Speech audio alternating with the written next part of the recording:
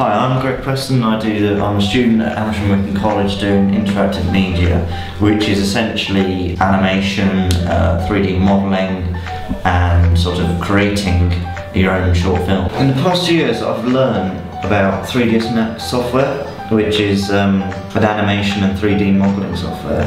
that lets you create your own 3D films. The course is great because of the we have industry level software, and that immediately puts us ahead of other people. Someone who's wanting to get into industry straight from school and one of us, they're also going to pick us because we've got um, two years of experience with the software. My relationship with my tutors I find is really good. I can trust them because they've been in the industry, most of them, and they now just want to do a little something on the side to give back to what they've learned. And so I find that I can trust them a lot more, and I think trust is a massive thing in a teacher-student relationship.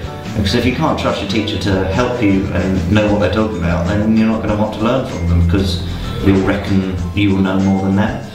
Probably one of the best things about the uh, the classroom because we're all together and we're all uh, going for a common goal. Uh, if you didn't have these softwares, really, it'd be so much more hard. So much more difficult.